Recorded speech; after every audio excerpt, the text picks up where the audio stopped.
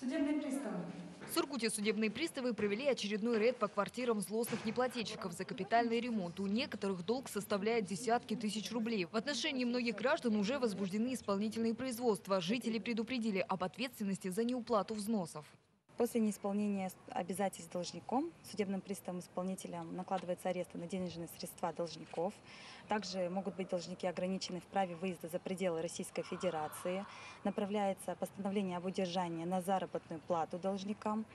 Арестовывается имущество, также транспортное средство, если таковое имеется. Сначала с должниками ведется претензионная работа. Если должник продолжает уклоняться от уплаты, тогда Югорский фонд капитального ремонта обращается в суд для принудительного взыскания задолженности.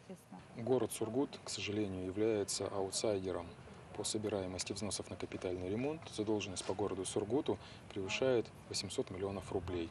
Это очень большая сумма, и данная задолженность э, несет в себе риски невыполнения программы по капитальному ремонту. Собственники соседних квартир с пониманием относятся к появлению судебных приставов и представителей Югорского фонда. Ведь взносы за капитальный ремонт – это обязательная оплата, которая оплачивается так же, как услуги за отопление, свет и воду. Югорский фонд идет навстречу и предоставляет рассрочку собственникам, которые имеют большой долг за капремонт и не могут его разово погасить. Я регулярно плачу взносы, потому что как бы считаю то, что я не только живя в своей квартире, как бы там должен порядок привести, но и считаю, что и вокруг дома фасад должен быть красивый.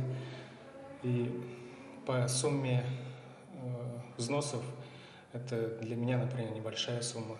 Самый удобный способ оплаты для собственников за услуги капитального ремонта – это оплата через личный кабинет Югорского фонда капремонта. Тем более, что при оплате через этот сервис собственник становится участником акции «Оплати капремонт онлайн», главный приз которой – 10-й iPhone. Также провести оплату будет возможно через мобильное приложение «Югорский фонд капремонта онлайн», с помощью которого можно видеть начисления и информацию о задолженности, оплачивать мгновенно, избегая очереди.